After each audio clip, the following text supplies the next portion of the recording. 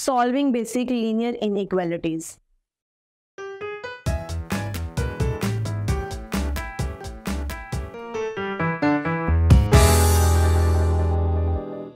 Assalamu alaikum. I welcome you all on the platform of digital academic provided by Moonlight International Publishers. Hello, my dear students. I'm your maths teacher. My name is Aisha. Where today's topic is about linear equalities. Students, linear equation क्या होती है अगर आपके पास कोई भी एक number, for example that is a, अगर आपके पास कोई नंबर ए है जो कि ज़ीरो से बड़ा है, या छोटा है, या नेगेटिव है, यानी कि वो पॉजिटिव होगा, या ज़ीरो होगा, या नेगेटिव होगा तो उस केस में हमारे पास जो इक्वेशन है वो क्या बन जाती है? इन इक्वालिटी बन जाती है कि आपके पास पॉसिबल आंसर्स हैं, एक्यूरेट आंसर नहीं है। इक्वालिटी में आपके पास एक्यूरेट आंसर आते हैं, that is the value and that's the answer.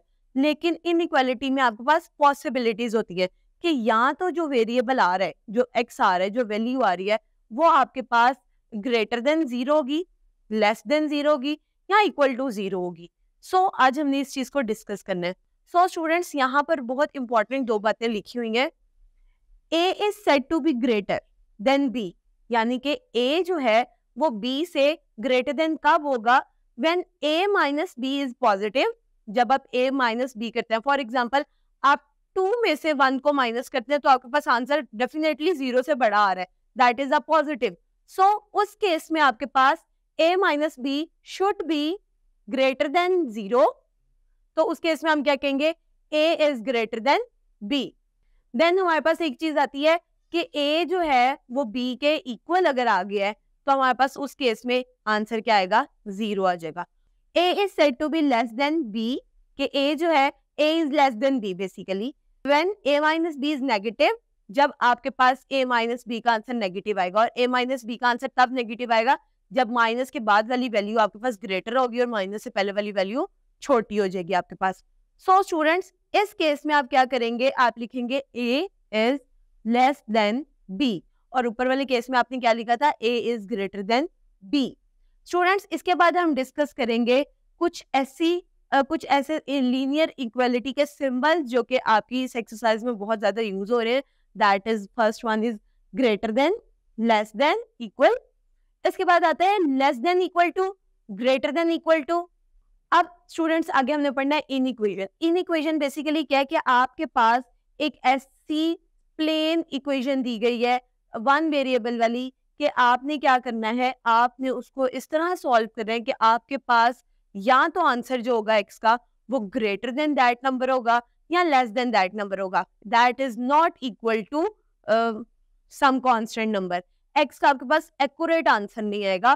Possibilities आएँगी इन इक्वेशन में बेसिकली आपके पास। यहाँ पर एग्ज़ाम्पल उन्होंने दी है three X minus eight is greater than eight students, यहाँ पे हमारे पास पॉसिबिलिटी क्या है कि अगर मैं किसी भी वेरिएबल को थ्री से मल्टीप्लाई करती हूँ और उसमें से एट को माइनस करती हूँ तो उसका आंसर तब भी एट से बड़ा होगा। इसका क्या मतलब है? इसका मतलब यह कि आपके पास जो आंसर आएँगे वो नाइन से स्टार्ट होंगे। नाइन, टेन अलेवन ट्वेल्व, क्योंकि वो पॉजिटिव नंबर्स होंगे और वो चलते जाएँगे। Then two X square minus three X is greater than equal to six.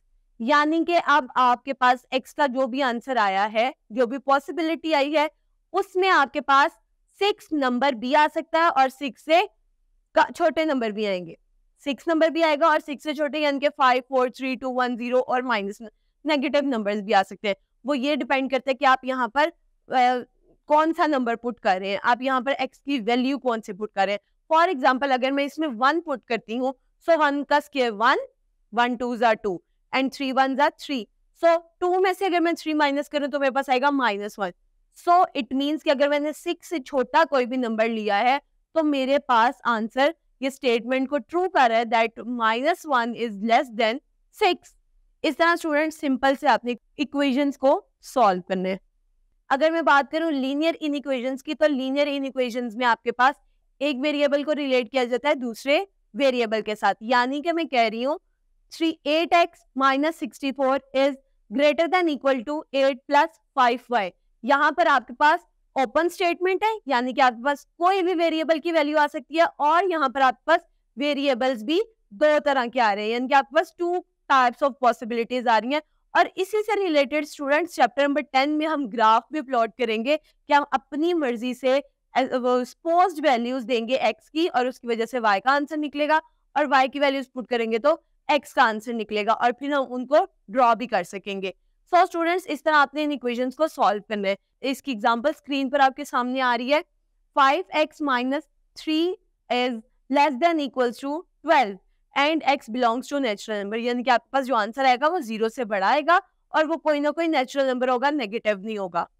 So so, अगर मैं इसको सॉल्व करूँ तो सबसे पहले मैं क्या करूँगी? माइनस थ्री को जो साइन है इनइक्वालिटी का, उसके दूसरी तरफ़ लेके जाऊँगी। Five X is less than equals to twelve plus three. So five X is less than equals to fifteen. X जो है वो फाइव के साथ मल्टीप्लाई हो रहा है, दूसरी तरफ़ जाकर डिवाइड हो जाएगा।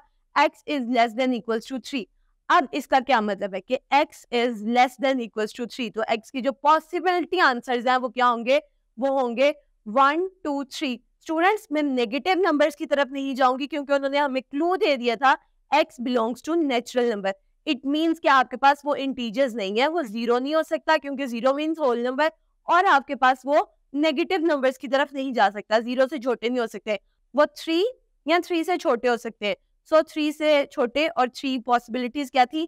One two and three it और इसी चीज़ को हमने ग्राफ पे भी ड्रॉ किया। So students now come to the exercise exercise number 9.2 का क्वेश्चन नंबर टू है। उसमें आपको कुछ सम्स इस तरह के दिए कि आपने इन इक्वलिटीज को सॉल्व करना है। जिस तरह आपने एग्ज़ाम्पल सॉल्व की एज इट इज़ आपने क्वेश्चन भी सॉल्व करने हैं। मैं उम्मीद करती हूँ आपको आज का टॉपिक समझ में आया होगा।